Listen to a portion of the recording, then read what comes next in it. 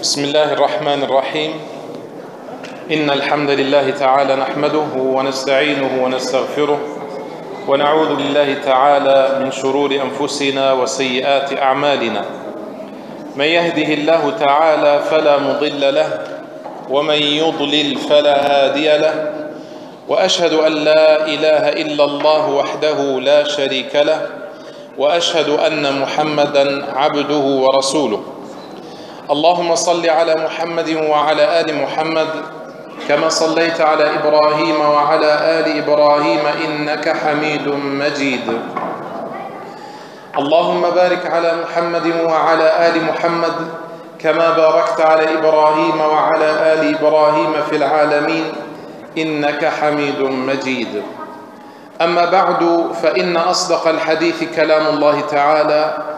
وخير الهدي هدي محمد صلى الله عليه وسلم وشر الأمور محدثاتها وكل محدثة بدعة وكل بدعة ضلالة وكل ضلالة في النار ثم أما بعد السلام عليكم ورحمة الله وبركاته Heute machen wir bi'idnillahi ta'ala weiter mit der Frage, liebst du deine Religion? Gestern hatten wir darüber geredet, wie wir den Genuss, den Geschmack des Iman erlangen und wie wir dahin gelangen. Und heute geht es weiter auf dieser Reise in unsere Herzen. Es ist eine Reise in die Tiefen unserer Herzen. Es ist eine klare, äh, ein, es geht um Farbe bekennen, ob wir tatsächlich so sind, wie wir es behaupten, oder ob wir mit der Zunge behaupten, was wir mit unseren äh, Handlungen leider nicht belegen. Liebst du deine Religion? Unsere Religion ist der Islam. قال تعالى إن الدين عند الله الإسلام. Die Religion bei Allah ist der Islam. Und Allah subhanahu wa ta'ala sagte, وَمَنْ يَبْتَغِ غَيْرَ الْإِسْلَامِ دِينًا فَلَنْ يُقْبَلَ مِنْهُ Und wer eine andere Religion annimmt als die Religion des Islams, von dem wird nichts, von dem wird es nicht angenommen. Das gilt natürlich für diejenigen, die nach der Entsendung des Propheten Muhammad sallallahu alaihi wasallam gelebt haben. Ansonsten ist ja klar, dass die Gefolgsleute und Gefährten aller Propheten, die an die Propheten geglaubt haben, natürlich auch äh, gläubige Menschen sind. Aber es geht hier um diejenigen, die nach, dem, äh, nach der Entsendung des Propheten sallallahu alaihi wasallam vom Propheten alaihi salatu wassalam gehört haben. In dieser Zeit wird Allah subhanahu wa ta'ala nur den Islam annehmen und deswegen sagte der Prophet sallallahu alaihi wasallam, bei dem, in dessen Hände meine Seele liegt, würde Musa zu uns kommen, würde, es ihm, nicht, würde ihm nichts anderes übrig bleiben, als mir zu folgen. Und das bedeutet, dass der Islam die letzte Religion ist. Um den Islam zu lieben, liebe Geschwister, müssen wir wissen, was der Islam ist. Und das, liebe Geschwister, ist eines der wichtigsten äh, Quellen für die Tücken des Teufels. Denn der Teufel hat zwei Waffen. Der Teufel Iblis, möge Allah Azzawajal uns vor ihm bewahren und vor ihm schützen, hat zwei Waffen. Die eine Waffe ist oder sind die Scheinargumente. Was bedeutet die Scheinargumente? Das bedeutet, er möchte dich zweifeln lassen an der Existenz Allahs oder an der Weisheit Allahs oder an der Gerechtigkeit Allahs oder Güte oder Gnade Allahs. Hauptsache du zweifelst an Allah subhanahu wa ta'ala. Und natürlich dementsprechend zweifelst du an die Propheten, an den Propheten und an die Religion. Du zweifelst an der Religion. Möge Allah uns davor bewahren. Die zweite Waffe des Teufels ist was? Es ist die Waffe der Begierde, der äh, Shahawat, der Bedürfnisse, die man eben hat, wie zum Beispiel das Bedürfnis oder dieses Begierde, diesen Drang nach Geld, nach Ansehen, nach Ruhm und so weiter und so fort. Und diesen Drang musst du islamkonform bändigen. Willst du Geld, du arbeiten, klauen darfst du nicht. Äh, möchtest du Ruhm, dann darfst du natürlich nicht lügen und irgendwas behaupten oder durch äh, Aneignung dessen, was dir nicht äh, gehört, zu Ruhm kommen und so weiter und so fort. Das sind die zwei Waffen des Teufels. Wenn ich nun wissen möchte, welche Haltung ich gegenüber dem Islam habe, dann muss ich den Islam kennen und das heißt mit anderen Worten, ich muss die Scheinargumente, die der Teufel und natürlich seine Gefolgsleute von den Menschen, die der Teufel verbreitet, diese Scheinargumente muss ich von mir abwenden. Und das geht nur durch Wissen. Die eine Waffe, dagegen haben wir ein ganzes Mal gegen die Waffe der, der Shubuhat und das ist Wissen. Kaum kommt ein äh, Angriff des Teufels durch eine Schubha, durch ein Scheinargument, schon kontern wir mit dem Wissen. Aber wenn du nicht deine Religion lernst, dann stehst du natürlich da und äh, wirst an deine Religion zweifeln. Möge Allah Azzawajal den Glauben in unseren Herzen festigen und mehren. Die Waffe des Teufels, und zwar die zweite der Begierde, wie kann ich diese diesen Angriff überstehen und wie kann ich kontern? Durch Ibadah. Durch Ibadah. Du wirst erst dann deine Seele bändigen, wenn du betest, wenn du fastest, wenn du spendest, wenn du Adhkar aufsagst. Gestern hatte ich ja gesagt, dass heute der Freitag ist. Wer von uns hat heute mehr als 100 Mal die Segenswünsche ausgesprochen für den Propheten sallallahu alaihi wasallam? Hier hapert es gewaltig bei uns. Die, der, dieser Bereich der Ibadah ist fast überhaupt nicht vorhanden, außer die Pflichtteile. Das machen wir gerade noch so und denken natürlich, wir wären es dabei.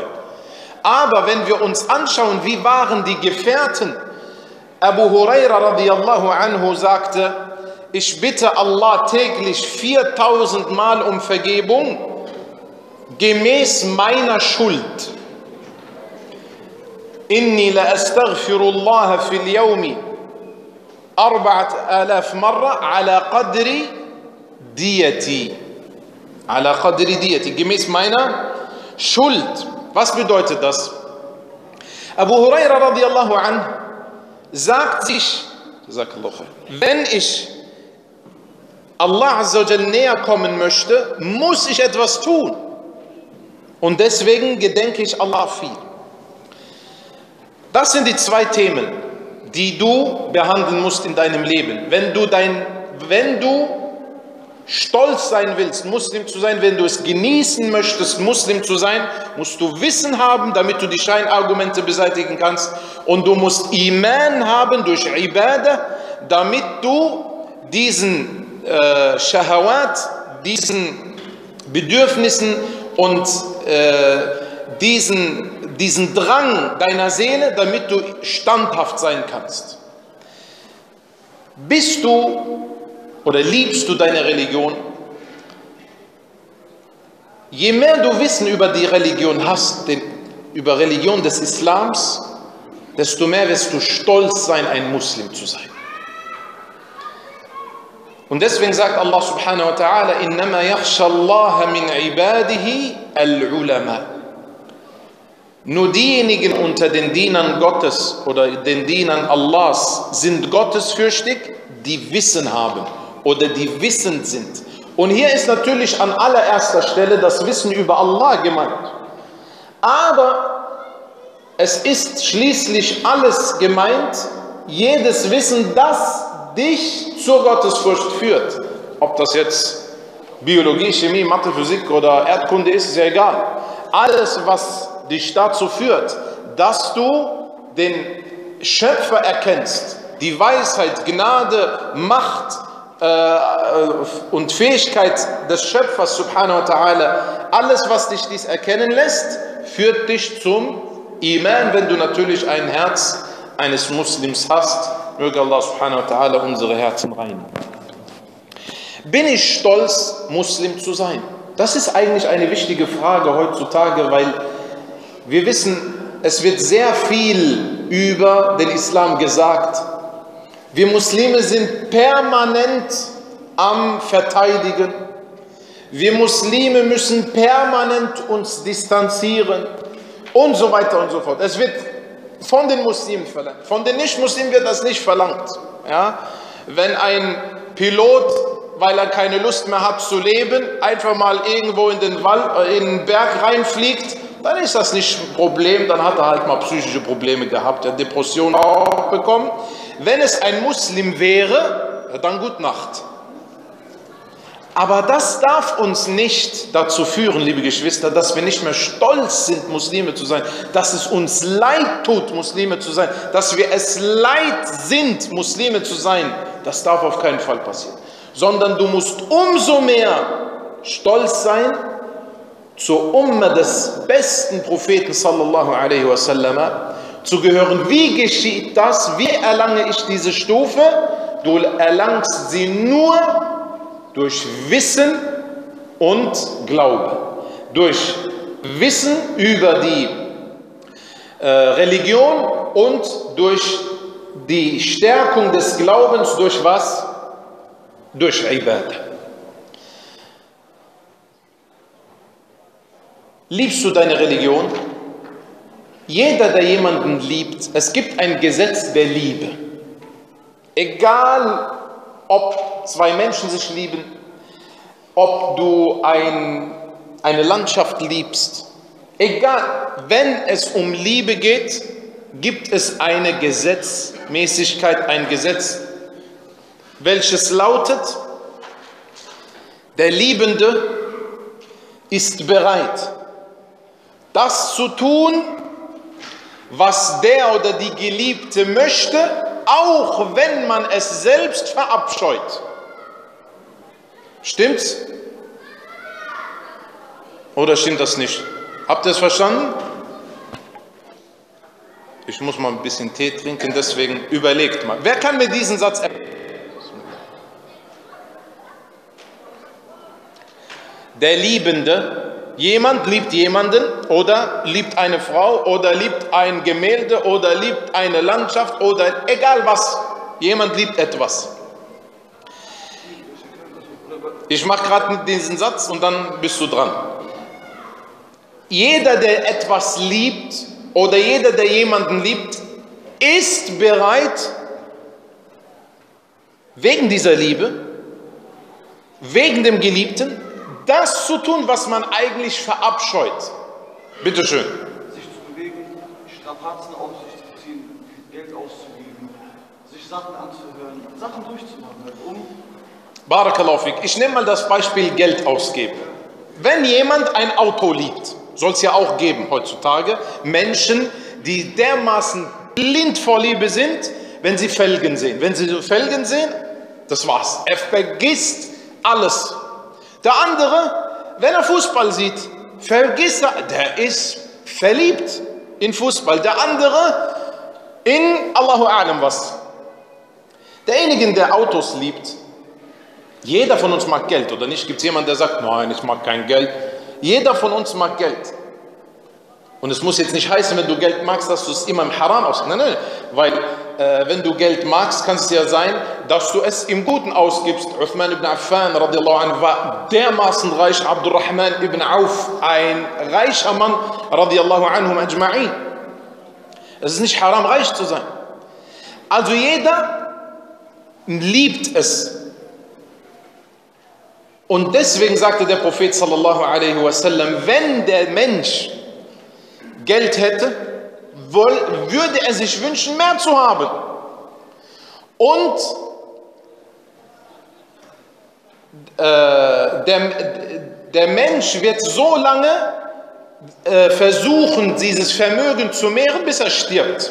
Also, ibn Adam illa turab. Das bedeutet, den Mund des Sohn Adams füllt nur die Erde. Das heißt, ansonsten sagt er immer, bitte mehr, bitte mehr, bitte mehr. Das sieht man ja jedes Mal, wenn die Gewerkschaften wieder streiken. Auf jeden Fall, wenn du dieses Auto liebst, bist du bereit, mehrere tausend Euros für Tuning auszugeben, oder nicht? Hat das keine Stoßdämpfer? Muss man jetzt die Stoßdämpfer ändern? Subhana Rabbil Azim. Dieser Ausruf reicht er nicht? Muss der jetzt geändert werden? Aber Subhanallah, Liebe. Er gibt sein Geld aus, obwohl er das mag, dieses Geld. Er, um dieses Geld zu verdienen, muss er Nachtschicht machen und Allahu A'lam, wo muss er dann arbeiten und schwitzen und, und, und schwere Arbeit leisten, damit er sich im nächsten Monat einen neuen Satz Felgen kaufen kann. Ist das nicht Liebe? Das ist Liebe. Ob das sinnvolle Liebe ist oder nicht, ist wieder ein anderes Thema. Bei den Menschen, wenn du deine Mutter liebst, möge Allah subhanahu wa ta'ala mit unseren Müttern gnädig sein, ob sie leben oder auch wenn sie gestorben sind, und mit unseren Eltern. Wenn du deine Mutter liebst und du bist so, du, du bist von der Nachtschicht gekommen morgens um 7 Uhr oder um 8 Uhr und deine Mutter sagt, nimm mich mal bitte zum Arzt. Sagst du, ah, geh doch alleine. Und du hast ein Auto und Alhamdulillah, bei dir ist alles tiptop. Bist nur ein bisschen müde von der Nachtschicht. Oder sagst du, ich nehme dich auf den Mars, wenn du möchtest. Das ist meine Mutter. Ich liebe dich. Und deswegen nehme ich dich natürlich. Was für Nachtschicht, ja? Natürlich nehme ich dich mit. Das ist Liebe. Das heißt, wahre Liebe zeigt sich wann? Wann zeigt sich wahre Liebe? Wenn du gemütlich auf dem Sessel sitzt und deine Mutter sagt, ist ein Happen, da sagt, Wallah, ich liebe dich, Mama. Und deswegen isst du ein Happen? Das ist doch keine Liebe. Das ist, das ist, ja, das ist ja einfach. Da ist ja keine Anstrengung. Zeigt das, dass du deine Mutter liebst? Nein. Deine Mutter liebst du, wenn du den ersten Lohn bekommst von deiner Arbeit und sagst, Mutter, bitte schön, da, das ist die Pilgerfahrt, Hajj. Oder Al-Umrah oder Allahu A'lam, irgendetwas, was sie erfreut. Du gibst etwas, was du eigentlich wolltest. Hast du diese Liebe gegenüber Allah? Hast du diese Liebe gegenüber der Religion? Allah subhanahu wa ta'ala sagt, ومن الناس من يتخذ من دون الله اندادا يحبونهم كحب الله والذين امنوا اشد حبا لله اللهم ارزقنا حبك وحب من يحبك وحب كل عمل يقربنا إلى حبك اللهم ما رزقتنا مما نحب فاجعله قوه لنا فيما تحب الله عز وجل sagt und es gibt unter den Menschen welche, die neben Allah Teilhaber nehmen und diese lieben, so wie sie Allah lieben. Aber die Gläubigen sind in ihrer Liebe gegenüber Allah stärker. Diese Liebe, die hier gemeint ist, liebe Geschwister, ist die religiöse Liebe. Denn es gibt eine religiöse und es gibt eine weltliche Liebe. Die Liebe zur Mutter, die Liebe zu, zu den Niagara-Fällen, zu den Malediven, zu Allahu A'lam, schönen Landschaft. Das ist eine, eine äh, natürliche Liebe. Die ist nicht haram. Da, nicht, wenn jemand sagt, ich mag die Automarke, dann darfst du nicht sagen, du bist ein Muschrik, weil du das nur Allah lieben. Das ist ja Quatsch. Wenn jemand seine Ehefrau liebt, das ist eine natürliche Liebe. Und ist diese Liebe erlaubt, selbst wenn die Ehefrau eine Nicht-Muslimin ist oder nicht. Oder gibt es jemanden, der eine Ehefrau heiratet, obwohl er sie hasst ja, und mit ihr überhaupt eine Sekunde auskommen kann und dann heiratet er sie? Nein, sondern seine Frau, auch wenn sie nicht muslimisch ist, also eine Christin wäre, dann darf er sie islamisch ja heiraten oder nicht. Also heißt das, er darf sie auch lieben. Aber welche Liebe? Die natürliche.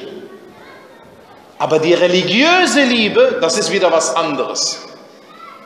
Die religiöse Liebe gilt nur für Allah subhanahu wa ta'ala oder etwas, was von der Liebe zu Allah abgeleitet ist. Und deswegen Ibn Qayyim al-Jawzi rahimahullah erwähnte bei der Liebe, als er über die Liebe gesch äh, geschrieben hat, er hat äh, vieles geschrieben, unter anderem das Werk Rawdatul Muhibbin wa Nuzhatul Mushtaqin. Die Titel alleine von Ibn al-Qayyim lassen dich vom Hocker fallen. Rawdatul Muhibbin, Gärten der Liebenden und Spaziergang der Mushtaqin. Was Mushtaq? Sehnsüchtigen. Es geht natürlich über die Liebe Allahs. Die Sehnsucht nach Allah, das verstehst du nur, wenn du viele Ibadah machst. Wenn dein Herz hart ist, härter als Steine, wie Allah subhanahu wa ta'ala sie äh, beschrieben hat, die, Her die Herzen. Einige Herzen sind härter als Gebirgssteine, dann verstehst du das nicht. Aber wenn dein Herz, dein Herz sanft geworden ist, wie wird mein Herz sanft? Durch Ibadah. Das beste Spülmittel überhaupt ist Ibadah.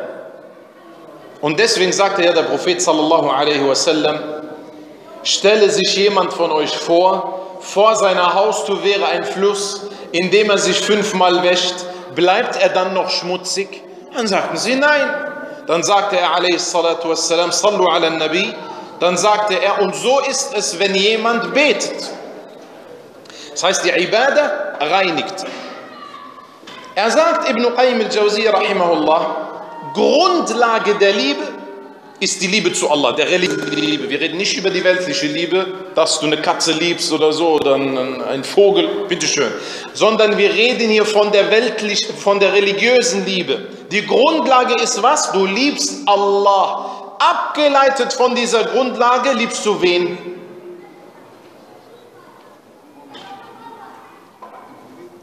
Wen noch? Also was? Alle, die Allah liebt. Ist das klar?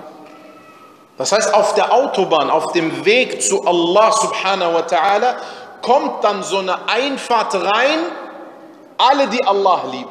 Alle, die Allah liebt. Denn wenn Allah subhanahu wa ta'ala jemanden liebt, geschieht etwas Wunderschönes. Und wenn du das weißt, bist du stolz, ein Muslim zu sein. Gestern äh, in einem Vortrag, und zwar von äh, Fadilat al-Sheikh äh, Abi Malik, er hatte erwähnt, wie die Schöpfung Allah subhanahu wa ta'ala preist und dass der Muslim, wenn er weiß, diese Bäume, diese Wand, dieser Tisch, alles preist Allah, wann fühlt sich ein Muslim alleine? Sind wir hier in der Minderheit? Nein, wir sind nicht in der Minderheit. Zähl mal die Bäume, zähl mal die Sandkörner, zähl mal die Wände, zähl mal die Gebirge. Es ist nicht richtig, dass es 1,7 Milliarden Muslime gibt. Äh, die Muslime, die es auf der Erde gibt, die kannst du gar nicht zählen. Und auf dem Mars und dem Jupiter und auf dem Mond, alle sind sie Muslime. Aber wenn es um Menschen geht, ist wieder was anderes. Aber wenn es um alle Muslime geht, um alle, die an, ein, an einen einzigen Gott glauben und alle, die Allah alleine dienen, dann sind wir auf keinen Fall in der Minderheit, sondern dann sind wir in der Mehrheit. Sekunde mal, aber Allah subhanahu wa ta'ala sagt doch im Koran oftmals, aber die meisten glauben nicht, aber die meisten wissen nicht. Ja, es geht um die meisten wer? meisten Menschen und Djinn natürlich. Und deswegen, liebe Geschwister, auch wenn wir jetzt eine kurze Ausfahrt genommen haben, als der Prophet sallallahu alaihi wasallam, sallu ala nabi sallallahu alaihi wasallam, es ist noch nicht äh, Schluss mit dem äh, Salat ala nabi sallallahu alaihi wasallam, weil der Freitag ist ja noch. Bis wann? Bis Salat al-Maghrib. Danach darfst du immer noch machen, aber dieser extra Lohn, ja, den gibt es bis zum Maghrib. Wer nach Maghrib aufwacht, der hat was verpasst. Der sollte Allah bitten, dass er so lange lebt bis zum nächsten Freitag. Ja, weil es kann ja sein, dass er unter der Woche stirbt. Möge Allah subhanahu wa ta'ala uns ein gutes Ende geben. Al-Rasul wassalam, als er, als seine Ehefrau starb, Khadija radiallahu anha, Also diese Liebesgeschichte zwischen Muhammad sallallahu alaihi wasallam und Khadija, also das hat die Menschheit noch nicht gesehen. Diese Frau, die da war, als der Prophet sallallahu alaihi wasallam sie braucht. Als er zum ersten Mal Jibril sah, noch nie hat er sowas gesehen, was ist das? Er hatte Angst und da ging er zu seiner Frau. Und er sagte, ich habe etwas gesehen und eine Frau, die normalerweise, Frauen sind ja normalerweise emotional, äh, normalerweise ängstlicher. Ja, es heißt ja, der Mann ist der Mutige. Und in dieser Situation war seine Frau, radiallahu anha, Khadija, ein Grund für die äh, für, die, für den inneren Frieden des Propheten sallallahu alaihi wasallam. sagte, Kalla la yukhzika Allahu abada. Nein, Allah lässt dich nicht im Stich. Auf jeden Fall, Khadija radiallahu anha ist gestorben. Und wer ist noch gestorben im selben Jahr? Welcher Onkel? Abu Talib. Abu Talib ist auch gestorben. Und dieses Jahr wurde wie genannt? Amul Husn, also Jahr der Trauer. Warum? Weil, denkt mal mit mir mit, liebe Geschwister, der Mensch braucht einen Rückzugsort. Ansonsten wird er psychisch krank. Entweder du hast in der Öffentlichkeit Menschen, die dich beschützen und du hast ein Ansehen und Respekt, oder wenn das nicht der Fall ist, dann zumindest, wenn du dich zurückziehst nach Hause, findest du Ruhe, Gelassenheit, Beistand bei deiner Familie. Aber wenn beides nicht da ist, draußen Feinde und alleine bist du daheim, da gehst du kaputt. Da gehst du kaputt. Wenn du denkst, du wärst alleine, das war. Die ganze Welt, sieben Milliarden sind es bereits, sind alle gegen dich. Dann gehst du kaputt. Und deswegen war es ein Jahr der Trauer, sein Schutz natürlich nach Allah Jalla wa ala. Abu Talib hat ihn beschützt. Und sein Rückzugsort Khadija radiallahu anha, beide sind jetzt weg. Was macht Allah subhanahu wa ta'ala? Und dann, bevor das nun kommt, geht er sallallahu alaihi wasallam in die Stadt At-Ta'if. Weil in Mekka kann er nicht mehr bleiben. Abu Talib ist gestorben, das war's. Er hat ja keinen Schutz mehr. Die Leute wollen ihn umbringen.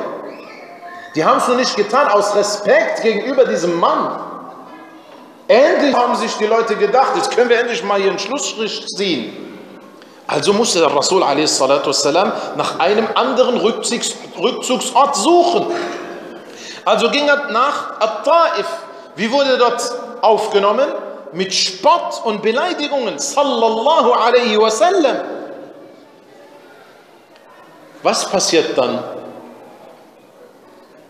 Allah subhanahu wa ta'ala schickt ihm dann eine Schar von was? Nein, von Djinn. قل أوحي إلي أنه استمع نفر من الجن فقالوا إنا سمعنا قرآنا عجبا und so weiter und so fort.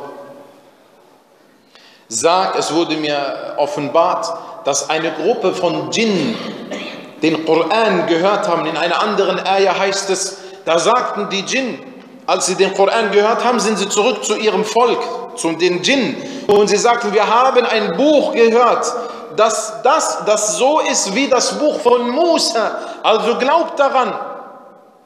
Was will Allah Azza wa unserem geliebten Propheten sallallahu alaihi wasallam damit sagen? Du bist nicht alleine. Wenn die Menschen dich abgelehnt haben, dann gibt es noch andere. Der Muslim, liebe Geschwister, ist nicht nur, gehört nicht, zu, nicht nur zur Community Mensch, nein, sondern er gehört zur Community, die Schöpfung Allah subhanahu wa ta'ala. Jeder Fisch im, im, im Meer oder im Fluss, jeder Vogel im Himmel, alle preisen sie Allah subhanahu wa ta'ala. Alle bestätigen sie, dass Allah einzig und allein ist, so wie du es machst. Warum also die Trauer? Das ist also ein wichtiger Aspekt, ein psychischer Aspekt. Denken wir es außen vorbei. Wir Muslime, wir haben alles verloren. Wir schlachten uns sowieso gegenseitig und die anderen, die Muslime geben uns noch den Rest. Hoffentlich sterben wir heute. Viele haben, haben die Hoffnung aufgegeben. Wobei wir, liebe Geschwister, nichts erlebt haben, was die Muslime erlebt haben in der islamischen Geschichte. Schon mal was von den Tataren gehört? In der Zeit der Tataren ging es so weit, dass sie die Oberhand hatten über die Muslime, dass sie dem Muslim gesagt haben, bleib hier stehen, ich hole mein Schwert, um dich umzubringen. Dann geht er ganz gemütlich, dackelt er nach Hause, holt sein Schwert, geht zurück und hackt ihm den Kopf So eine Erniedrigung. Es gab viele Zeiten. Ar-Rasul, sallu alayhi. Allahumma salli wa sallim wa barik ala nabiyyina Muhammad. Allah Azza wa berichtete darüber, als er sagte, glaubt ihr denn, dass wir euch nicht so prüfen wie die, äh, oder habt ihr denn nicht die äh, Nachricht über diejenigen gehört, die geprüft wurden, bis der Prophet und die, und die Gefährten sagen, wann kommt endlich der Sieg Allahs? Das heißt, du bist nicht der Erste, der in so einer Situation ist. Du musst wissen, Allah subhanahu wa ta'ala lässt diese Prüfungen kommen, um, wie sagt der Deutsche, was vom Weizen zu trennen? Spreu vom Weizen zu trennen. Das heißt, das Gute vom Schlechten zu trennen. Und deswegen musst du dir eine Frage stellen, als Muslim. Als Muslim in dieser ganzen Situation, wo bin ich? Aber wo bin ich wo? Wo bin ich in, in Hessen oder wo bin ich in Deutschland oder wo bin ich in Europa oder wo bin ich auf der Erde? Nein. Wo bin ich? Auf der Wichtigkeitsliste Allahs. Die Ulama sagen, wenn du erkennen möchtest, welche Stellung bei ihm du hast, so schau dir an, wo er dich hinstellt. Das braucht jetzt wieder ein bisschen Tee, bis das hier in den Herzen sickert. 30 Sekunden und dann erläutert einer bitte diesen Satz. Wenn du wissen möchtest, welche Stellung du bei ihm, bei wem? Bei Allah wenn du wissen möchtest, welche Stellung du bei ihm hast, dann schau dir an, wo hat er dich hingestellt. Ja, versuch mal. Ich verstehe das so, wie mit dem Sehen. Das ist mein Sehen, der das Sehen.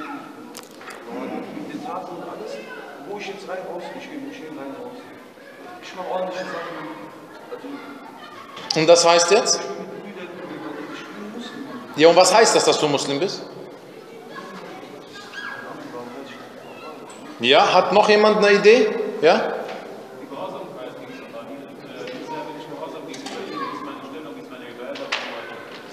Sehr schön, das ist ja der zweite Abschnitt. Dann schau dir an, wo, du, wo er dich hingestellt hat. Aber was bedeutet, wenn du will, wissen willst, wie deine Stellung bei ihm ist? Wie deine Stellung bei ihm ist. Heißt was? Naam? Allah barik Möge Allah dich lieben und uns alle mit. Das bedeutet, wenn du wissen möchtest, ob Allah dich liebt, dann schau dir an, was für einen Job hast du. Ich bin Meister. Nein, ich meine doch nicht das. Sondern was für einen Job hast du auf dem Weg zu Allah subhanahu wa ta'ala. Du kannst Handwerker sein und MashaAllah, du bist bekannt dafür, MashaAllah, dass du in den Moscheen Fliesen legst oder die Teppiche verlegst oder streichst, ein Maler bist du. Du musst jetzt nicht Professor für Neurochirurgie sein, um von Allah geliebt zu werden und um eine besondere Stellung zu haben. sondern es kann sein, dass du in den Augen der Menschen vielleicht nicht so viel wert bist, aber bei Allah subhanahu wa ta'ala bist du sehr viel wert. Als eine Frau gestorben ist, die die Moschee sauber macht, zur Zeit des Propheten sallallahu alaihi keiner hat sich Gedanken gemacht über diese Frau. Ja, da haben sie halt beerdigt. Assalamu alaikum. Das ist halt eine von vielen. Aber Rasul sallallahu alaihi wasallam, der hat andere Maßstäbe. Da fragt er, wo ist denn diese Frau? Dann hat man ihm gesagt, sie ist gestorben. Da hat gesagt, warum habt ihr mir das nicht gesagt? Dann ist er hin und hat noch einmal das Totengebet verrichtet. Sie hat jetzt nicht 5000 Ahadith überliefert. Sie war jetzt nicht die gelehrteste Frau der Welt. Nein, nein, aber sie hatte einen Job in ihrem Leben auf dem Weg zu Allah, das heißt Moschee sauber machen. Welchen Job hast du in der Da'wah zu Allah subhanahu wa ta'ala, auf dem Weg zu Allah azza wa Da'wah bedeutet nicht nur Vorträge. du bist Muslim, also bist du ein Da'iyah, ob du willst oder nicht. Und das ist das, was viele von uns, insbesondere unsere Jugendlichen, nicht kennen. Die denken, Muslim zu sein, ist eine einfache Sache. Nein, nein. Wenn du Muslim bist, bist du ein Botschafter. Ich will kein Botschafter sein, du bist aber einer. Jeder, der dich anschaut von den Nichtmuslimen, der wird nicht da sagen, Abdullah, Abdurrahman, Mas'ud, Ahmed, Hassan ist so. Nee, nee, sondern was sagen sie? Sie sagen, der Prophet hat sie nicht erziehen können. Das werden sie sagen. Sie werden die Schuld wem geben? Unserem geliebten Propheten sallallahu alaihi wasallam, weil wir uns im Jahr 2015 nicht benehmen konnten. Das musst du verstehen, o Muslim. Wenn du deine Religion liebst, dann musst du dir die Frage stellen, welches Gewicht habe ich in meiner Religion? Und deswegen sagen die Ulama, es geht nicht darum, dass du ihn liebst. Vielmehr geht es darum, dass er dich liebt. Das sind so Sätze, die, die, die, die, die muss man so langsam aber sicher verdauen. Das geht nicht so schnell. Nicht? Ein Happen nach dem anderen geht mal kaputt. Noch einmal, Sallu ala Nabi, sallallahu alaihi wasallam. Es geht nicht darum, dass du ihn liebst sondern vielmehr geht es darum, dass er dich auf Arabisch, auf Arabisch ليس الشأن أن تحب إنما الشأن أن تحب اللهم ارزقنا حبك O Allah, gib uns deine Liebe. Liebe uns und helfe uns, all das zu lieben, was du liebst. Also, wenn du Allah liebst, und das haben wir gestern gesagt, den Geschmack des Glaubens wirst du nur dann erfahren, wenn du was? Wenn du Allah und den Gesandten wasallam mehr liebst als alles andere. Aber das Lieben ist kein Lippenbekenntnis, sondern eine Lebensweise. Die Liebe Allahs, die Liebe der Religion, die Liebe des Propheten sallallahu alaihi wasallam ist eine Lebensweise. Das sieht man, er liebt Allah. Wenn du jemanden siehst, der den ganzen Tag sein Auto putzt, dann sagst du, der Typ liebt sein Auto, oder nicht? Wenn du siehst jemand, der den ganzen Tag seine Mutter pflegt, dann sagst du, dieser Mensch liebt seine Mutter. Wenn du siehst, wie ein Mensch den ganzen Tag Bücher liest, dann sagst du, dieser Mensch liebt Bücher. Oder nicht? So einfach ist das. Wenn du jetzt, wenn der Prophet sallallahu alaihi wasallam jetzt zu dir nach Hause kommen würde, was natürlich nicht geht, aber stellen wir uns das mal vor. Was in deiner Wohnung, in deiner Familie, in deiner Lebensweise deutet darauf hin, ohne dass du redest. Es geht nicht um Reden. Derjenige, der sein Auto poliert den ganzen Tag, der hat keinen Vortrag gehalten, wie wichtig es ist, das Auto zu polieren und ohne Auto, wie es uns dann schlecht ging. Der hält ja keine Vorträge. Es ist eine Lebensweise, die er vorlebt. Und dann merkst du, zack, eins und eins ist zwei, der Typ, der liebt sein Auto. So, wenn der Prophet sallallahu alaihi wasallam nun dir einen Besuch abstattet, bei dir in der Wohnung, jetzt sofort, was in deiner Wohnung, in deinem Leben zeigt, dass du tatsächlich Al-Rasul sallallahu alaihi wasallam liebst, dass du diese Religion liebst, dass du Allah liebst. Was? Ibadah, hast du Ibadah? Hast du ein, ein Konto, Ibadah-Konto? Oder hast du irgendetwas anderes, was du vorweisen kannst? Oder lebst du gar nicht für Allah subhanahu wa ta'ala? Lebst du für Allah oder für dich selbst? Und deswegen, liebe Geschwister, ist es wichtig, dass wir rauskommen aus diesem, aus diesem, aus dieser Art des Lebens, weg von der Liebe zu Allah, der Liebe des Propheten sallallahu alaihi wasallam, der Liebe der, der, des Islams. Wie bitteschön kannst du, mir, kannst du behaupten, du liebst den Islam und du lernst den Islam nicht? Schauen wir uns mal die Vorträge an. Stellen wir uns vor, lieber Bruder, du bekommst einen Job in China und du bekommst netto 20.000 Euro. Ich weiß jetzt nicht, wie der Yen, aber gut, das war ja Japan, ist ja egal. Auf jeden Fall, du bekommst 20.000 Euro netto. Gibt es das überhaupt auf dieser Welt? Auf jeden Fall, stellen wir uns das mal vor. Voraussetzung ist was? Ey, dass du Chinesisch kannst. So, jetzt hörst du, jetzt hörst du, es gibt kostenlos Chinesischkurs. Kostenlos. Wärst du bereit, 5000 Euro für so einen Kurs zu bezahlen oder nicht? Junge, in einem Monat hast du das Geld wieder zurück. Du würdest Geld ausleihen und wenn es centweise ist, gib mir einen Cent, gib mir einen Cent, gib mir einen Cent, damit du die 5000 hast, damit du Chinesisch lernst. 20.000 Euro. Und du bekommst einen Kurs kostenlos. Und dann lernst du.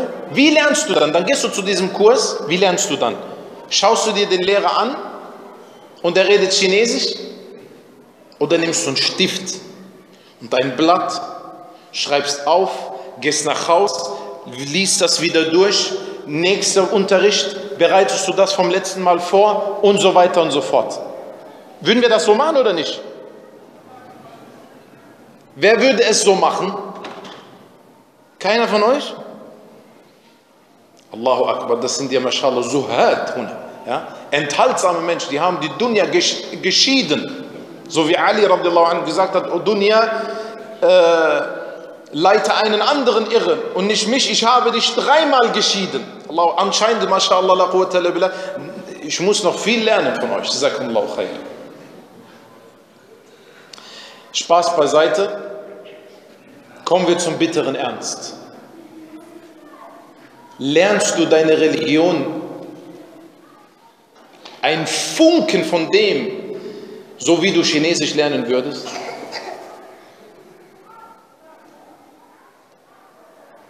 Und jetzt die Frage, liebst du deine Religion? Wenn Ulama aus den fernsten Ländern kommen, mehrere Stunden sind die im Himmel, damit die endlich hierher kommen, und du kommst ganz gemütlich hierher, setzt dich hin, walillah alhamdu masha'Allah, das Wetter ist schön, Allahu Akbar, alles ist da. Aber du kommst, wann du willst, bleibst so lange, wie du willst und hörst vielleicht nur 20%, 30%. Und da kommt natürlich die Spitzenausrede, ja, diese Ausrede ist mehrfach im Guinness-Buch der Rekorde. Nee, ist es nicht. Ich kann kein Arabisch. Also bitte. Stell dir vor, jemand sagt dir, hör mal zu, dein Vorarbeiter, dein Chef sagt dir, äh, hör mal zu, es gibt ein neues Produkt. Ja? Du arbeitest, Allahu Alam, Taschentücher oder Handys, egal was, du hast ein Produkt. Und du musst damit du jetzt eine Stufe mehr bekommst, Gehaltsklasse die nächste, ja, äh, musst du aber das Produkt kennen. Und da gibt es ein Seminar jetzt auf, äh, auf was für eine Sprache? Auf Suaheli. Ja, afrikanische Sprache. Würdest du da nicht jemanden hin von deinen Freunden, Freundeskreis fragen, gibt es jemanden hier, der Suaheli spricht? Ja? Kannst du mal bitte mitkommen mir übersetzen? Würdest du es nicht machen?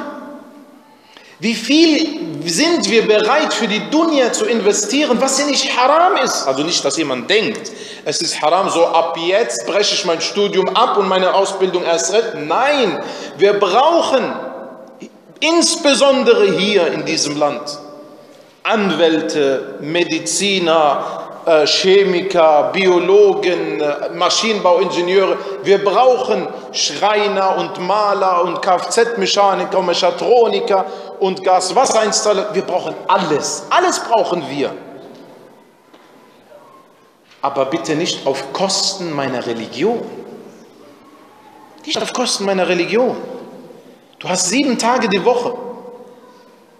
Warum können wir nicht eine Stunde in der Woche, eine halbe Stunde in der Woche unsere Religion lernen?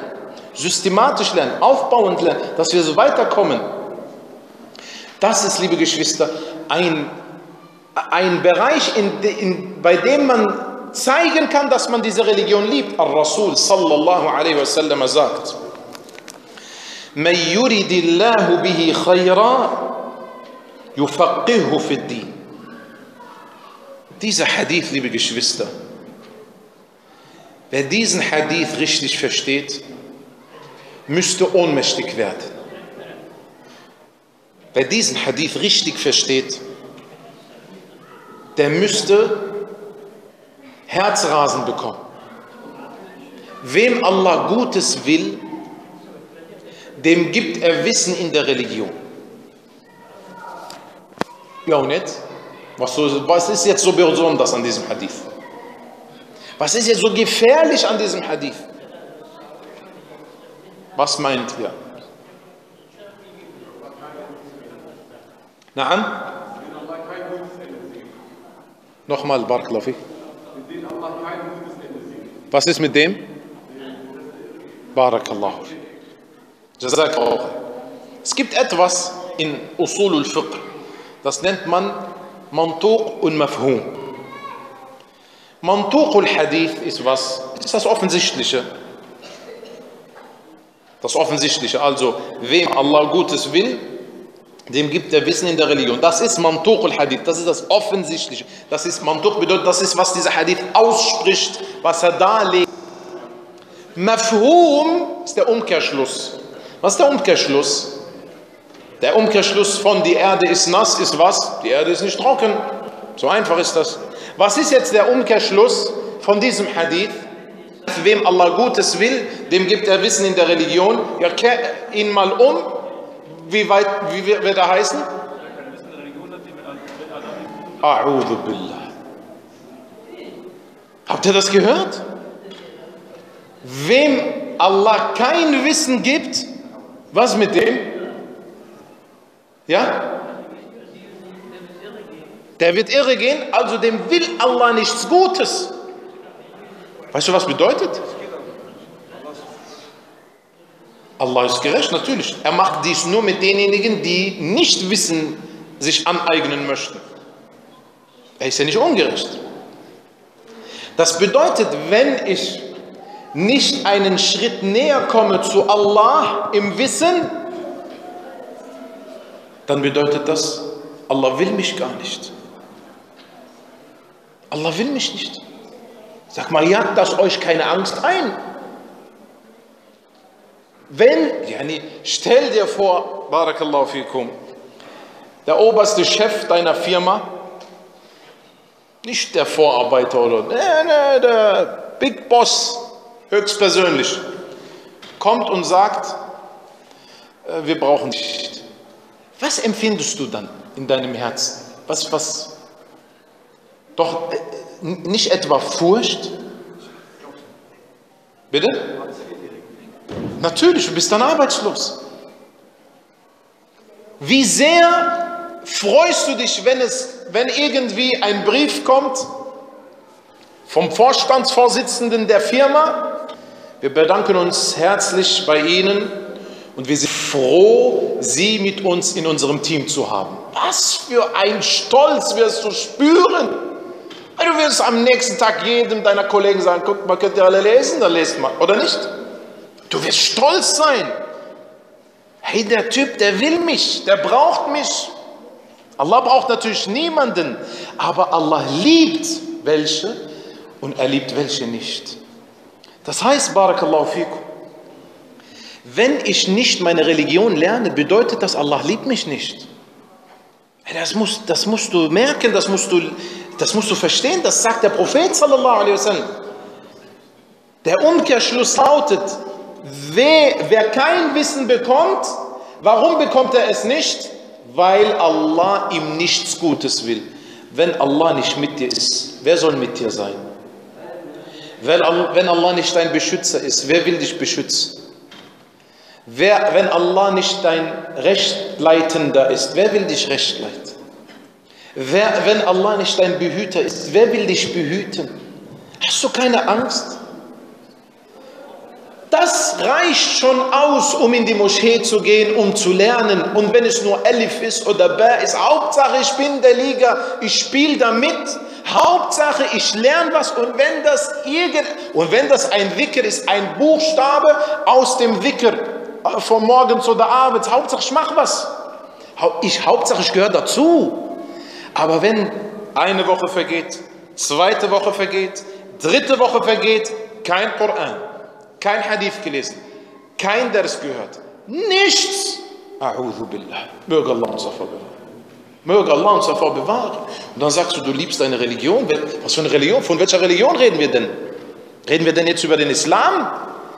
Du sagst, du liebst deine Religion und du merkst gar nicht, Allah will dich gar nicht. Allah will Khalid ibn al-Walid. Er liebt Hamza. Er liebt Salah ad-Din al-Ayyubi. Er liebt die großen Gelehrten. Und wann kommst du denn endlich auf dieser Liste? Noch einmal, denk an diese Frau, die die Moschee geputzt hat. Du musst nicht ein Khalid ibn al-Walid sein, um in dieser Liga mitzuspielen. Das ist doch die Gnade Allahs. Al-Rasul sallallahu alaihi wasallam sagt, wenn Allah einen Diener liebt, o Allah liebe uns. Dann sagt, dann ruft er Jibril und sagt ihm, ich liebe diesen Diener, so liebe ihn. Dann sagt Jibril zu den Engeln, zu den Leuten des Himmels, Allah liebt den Diener, so liebt ihn, so lieben ihn alle im Himmel. Und danach wird ihm die Liebe auf der Erde verbreitet. Subhanallah. Weil dich Allah liebt. Und der andere möge Allah uns davor bewahren. Und wenn Allah einen hasst, dann ruft er Jibril und er sagt ihm, ich hasse diesen, so hasse ihn. Dann hasst ihn Jibril und er ruft die Engel und er sagt ihnen, Allah hasst denjenigen, so hasst ihn, so hassen ihn alle im Himmel und dann wird ihm der Hass verbreitet auf der Erde, möge Allah uns davor bewahren. Wir wollen doch, dass wir von Allah geliebt werden. Wir wollen doch, dass wir Allah näher kommen. Und deswegen, Barakallahu fikum, es geht kein Weg dran vorbei. Du musst zuallererst, wie wir gestern schon erwähnt haben, wachsam werden, aufwachen. Und dann die nächsten Stufen auf dem Weg zu Allah Azza wa Jal. Die erste war Al-Yaqadha. Die zweite nennt sich Al-Fikra.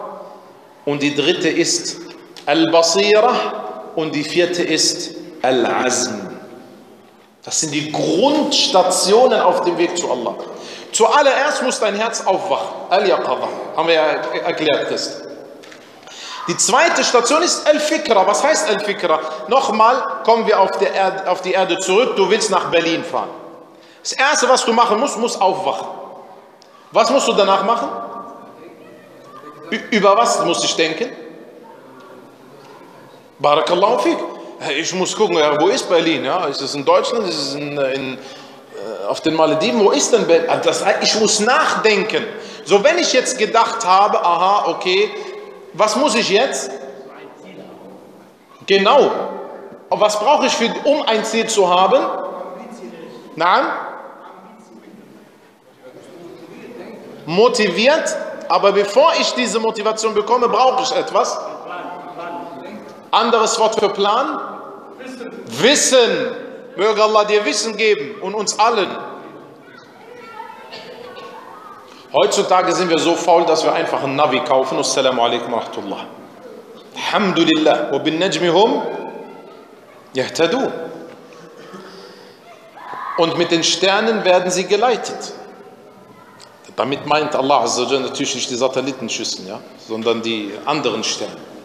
Es ist interessant, wenn du in Fiqh-Büchern liest, im Kapitel Gebet, wie finde ich die Qibla heraus?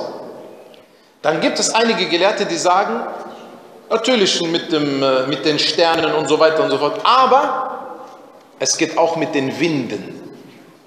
Das können aber eher so Seefahrer und so. Ne? Heutzutage, wenn wir so ein Buch schreiben würden, vierte Buch, dann würden wir auch sagen, Kapitel, wie finde ich die Qibla mit Satellitenschüsseln? Ja, ne? Da, wo die Satellitenschüsseln hin sind, äh, diese Richtung, das ist die Qibla. Oder mit Autobahnen und so weiter und so fort. Früher haben sie es mit Wind. Woher kommt der Wind? Wohin geht der Wind? Auf jeden Fall kommen wir zurück zu unserem Thema, Barakallahu fikum. Wir brauchen auf dem Weg zu Allah Jalla wa ala erstmal Wachsamkeit, wir müssen aufwachen, dann müssen wir überhaupt wissen, was wir überhaupt wollen. Ja? Fikra, der Gedanke, was will ich überhaupt? Ich will reisen. So, wenn ich jetzt reisen will, brauche ich was? Basira. Basira ist was? Wissen. Und jetzt der springende Punkt, weil das haben wir jetzt. Wir alle haben das. Wir sind aufgewacht, weil wir alle fühlen uns schlecht. Keiner von uns sagt, hör mal zu, lass mich sündigen und das war's. Bin ich halt in Jahannam? Allah uns davor bewahren. Also ich denke, keiner von uns denkt so, sondern jeder denkt, ich muss endlich, endlich aufhören, aber ich kann nicht, ich, ich weiß nicht, wie ich es mache. Ich habe es schon mehrmals versucht. Ich, ich, der Shaitan kriegt mich wieder zu dieser Sünde. Das heißt, wir sind aufgewacht. Wir wissen, was wir wollen. Wir haben gelernt, ja, ich muss Ibadah machen, ich muss Ibadah machen, ich muss Ibadah machen. Das haben wir gelernt. Was brauchst du jetzt? Al-Azm. Was heißt Al-Azm? Das bedeutet, dass du den Entschluss hast. Das ist das, was viel, vielen uns fehlt. Was bedeutet Entschluss? فإذا عزمت فتوكل على الله. Wenn du entschlossen bist, so vertraue auf Allah. Also dann mach dich mal hin, ja, dann beweg dich. Aber was bedeutet das, liebe Geschwister? Viele von uns, möge Allah uns, möge Allah unsere Makeln und Mengen verbergen. Und möge Allah uns nicht bloßstellen, weder auf der Erde, noch unter der Erde, noch am Tag der Auferstehung. Viele von uns, liebe Geschwister, haben Angst, Tauba zu machen. Was heißt das? Es bedeutet, seine Seele will gerne mit Mädchen chatten zum Beispiel. Er will das. Er hat einen Drang. Oder Musik zu hören. Oder Allahu alim zu sündigen, egal was für eine Sünde. Jeder von uns soll jetzt sich die Sünde vorstellen, mit der er immer zu tun hat. Möge Allah unsere Sünden vergeben. Und möge Allah uns die Kraft und die Aufrichtigkeit geben, zu bedauern und zu bereuen. Liebe Geschwister, das müssen wir verstehen, wie entsteht überhaupt diese Sehnsucht nach der Sünde? Es ist eigentlich keine Sehnsucht, sondern einfach nur Sucht, ohne Sehen. Sie entsteht als Strafe. Die größte Strafe, irdische Strafe, also Strafe Allahs auf der Erde noch bevor du stirbst. Für eine Sünde ist was? Dass Allah dich wieder sünden lässt. Das ist die größte Strafe. Ibn al-Jawzi sagt, würde er dich lieben, hätte er dich vor der Sünde gerettet. Dieser Satz, der braucht jetzt eine Stunde, damit du, damit du den verstehst, damit du den Schritt für Schritt in das Innerste des Inneren, deines Inneren im Herzen reinlegst. Da brauchst du Zeit. Und deswegen, Barakallahu fikum, nur so nebenbei Als Muslim zu leben bedeutet, sich Zeit zu nehmen. Ich weiß gar nicht, ob ich das hier gesagt habe oder woanders. Al-Muhim, ich glaube, das war gestern hier, oder? Du musst, dich, du, du musst dir Zeit nehmen für deine Religion. Allah Azza wa Jal sagt, الذين يستمعون القول فيتبعون أحسنه أولئك الذين هداهم الله وأولئك هم أولو الألباب Al-Lub ist der Kern, das Innerste des Herzens. Diejenigen, die das, diejenigen, die die Aussage hören und danach das Gute daran folgen oder dem Guten daran folgen, das sind diejenigen, die Allah recht geleitet haben und das sind diejenigen, die einen Kern besitzen. Heißt was? Das heißt, bis die Aussage, die Info hier reinkommt, das dauert. Das dauert. Und deswegen brauchst du dich nicht zu wundern. Du sitzt in der Straßenbahn und hörst Koran und schaust den Mädchen nach. Das dauert. Es geht nicht ruckzuck, Hauptsache die Stöpsel in die Ohren, Allahu Akbar, jetzt habe ich Iman von Abu Bakr. Schön wäre es, wenn es so einfach ist. Du musst arbeiten. Und deswegen, Barakallahu fikum, warum sündigen wir so oft als Strafe? Weil wir noch keinen Entschluss gefasst haben, es reicht. Das haben wir nicht gesagt. Was sagen wir? Ich würde gern. Es wäre so schön. Hoffentlich. So machen wir Taube. So machen wir Taube. Ich hoffe, dass ich auch. Nein, nein. Ich höre auf. Punkt. Aus Ende Schluss. Und deswegen im Arabischen gibt es ja die Aussage: وَالنَّفْسُ كَالطِّفْلِ إِن تُهْمِلْهُ شَبَّ عَلَى حُبِّ الرَّضَاعِ وَإِن تَفْطِمْهُ يَنْفَطِمِ Und die Seele ist so wie ein Säugling. Wenn du es lässt, wird es das Stillen lieben. Und wenn du es, naam, und wenn du es entwöhnst, dann wird es damit aufhören. Deine Nefs ist so wie ein Baby. Wann hört ein Baby auf zu stillen? Alle Väter hier, wann hört ein Baby auf zu stillen?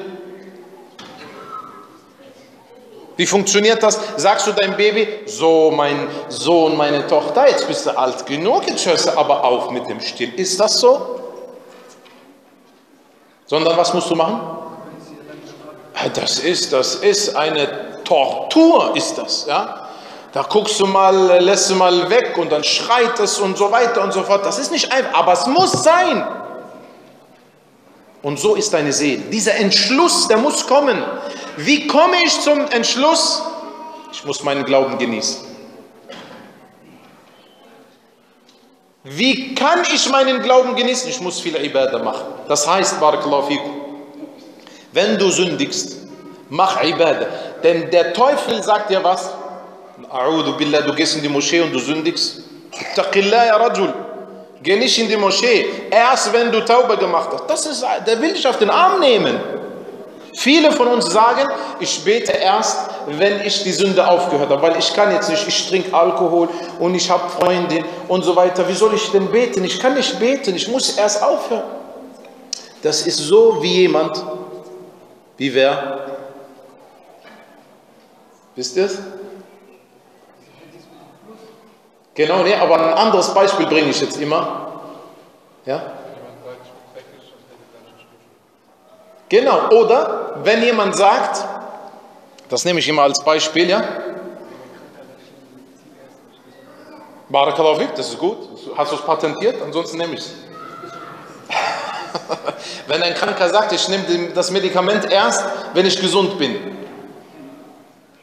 Oder, jetzt mal plausibler, das ist mashallah ein höheres Niveau.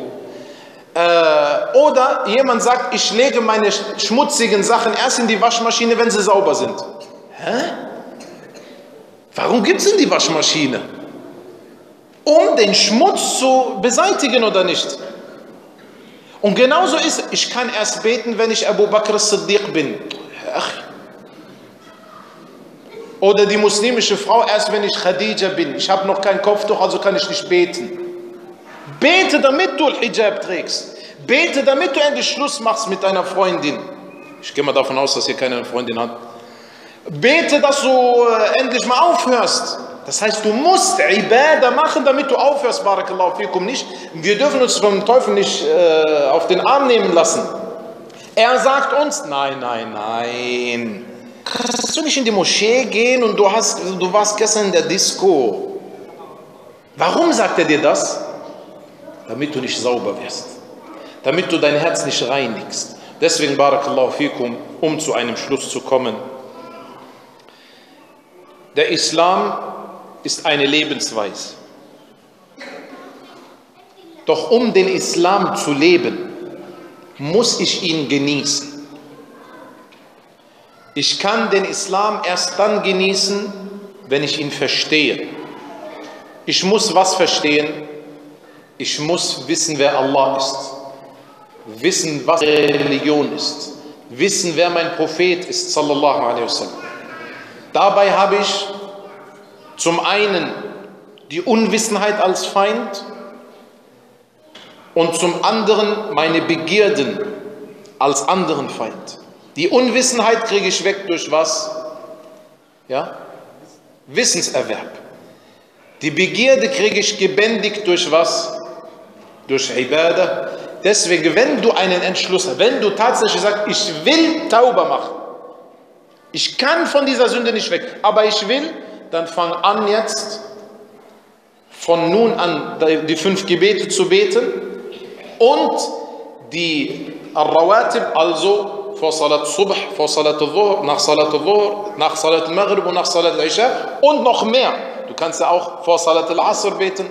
Du kannst immer zwischen Adhan und Iqama beten. Bete viel. Bete viel. Das ist das A und O. Zweitens, faste viel.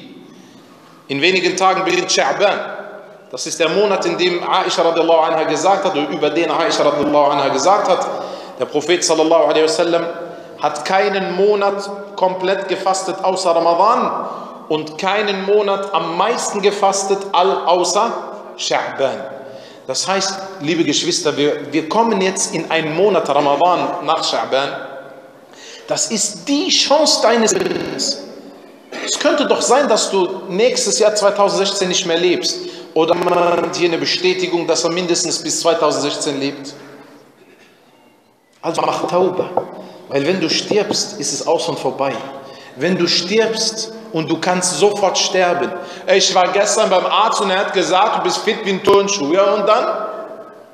Wie viele Sportler sind äh, tip, tip top, ja, und dann sterben sie? Gibt es das oder gibt es das nicht? Jetzt in, äh, wo war das Erdbeben? Nepal. Da haben sie eine 80-jährige Frau rausgebracht aus dem, aus dem Schutt und die anderen sind tot. Das heißt, du weißt nicht, wann du stirbst, wo du stirbst, wie du stirbst. Also mach Tauba. Ich mag aber diese eine Sünde, mach Ibadah. Deswegen, damit du diese Sünde nicht mehr magst, mach Ibadah. Geh in ein anderes Klima. Denn wir sind, wenn wir sündigen, liebe Geschwister, aber das ist jetzt tatsächlich jetzt der letzte Satz. Wir sind, wenn wir sündigen, so wie in einem Raum, in dem es keine Fenster gibt und da wird es stickig. Da gibt es so langsam aber sicher dicke Luft. Geh für zwei Minuten raus. Nur zwei Minuten und geh dann wieder rein, was wirst du dann sagen? Ich sage, ja, wie konnte ich überhaupt hier nur sitzen mit denen? Wie, wie riecht es denn hier? Oder nicht? Unser Problem ist, wir sind nicht rausgegangen aus diesen Sünden. Wohin soll ich denn? In die Ibadah. Nimm dir zwei Minuten Ibadah. Schnappe zwei Minuten frische Luft. Das heißt zwei Rak'a, paar Tage fasten, ein paar Tage mit Brüdern irgendwo hingehen, wo man keine Fitner sieht. Mach mal eine Auszeit für dich, für deine Seele. Lies mal Koran, nonstop, hintereinander. Aber denke nicht, der Shaitan wird dich dann lassen. Oh ja, der will es tatsächlich, lasse ihn in Ruhe. Nee, dann beginnt der Kampf erst richtig. Dann beginnt der Kampf erst richtig. Und dafür brauchen wir dann natürlich andere Sachen. Dann brauchen natürlich Disziplin, Kondition in der Ibadah. aber wir sind ja noch gar nicht mal, wir haben ja noch gar nicht mal angefangen mit der Ibadah, da wollen wir schon über die Kondition reden. Das ist genauso wie äh, so einer wie ich, ja, und da redet dann über 5000 äh, Meter Lauf oder so, ja. Er redet dann erstmal über 3 Meter Lauf, ja. Und dann können wir über 5000 Meter Lauf reden. Und so ist es auch bei der Taube. Schnapp mal ein bisschen frische Luft, mach endlich Ibadah, such eine Umgebung, die dich animiert, die dich motiviert zur Ibadah, dann wirst du so langsam aber sicher die Sünde verabscheuen, bis du sie bi'idnillahi ta'ala verlässt. Das ist das, was der Prophet sallallahu alaihi wasallam uns versprochen hat. Möge Allah subhanahu wa ta'ala unsere Sünden vergeben. Und möge Allah subhanahu wa ta'ala unsere Herzen reinigen. Und möge Allah subhanahu wa ta'ala uns in unserer Religion festigen und uns ein gutes Ende geben. Möge Allah uns erlauben, das Glaubensbekenntnis im letzten Atemzug unseres Lebens auszusprechen. Und möge Allah uns vereinen mit dem Propheten sallallahu alaihi wasallam in den höchsten Stufen des Paradieses. Wir bitten Allah dass er uns ins Paradies eintreten lässt, ohne vorherige Strafe und ohne vorherige Abrechnung. Barakallahu fikum. وصل اللهم وسلم وبارك على نبينا محمد وعلى آله وأصحابه أجمعين. سبحانك اللهم وبحمدك أشهد أن لا إله إلا أنت أستغفرك وأتوب إليك.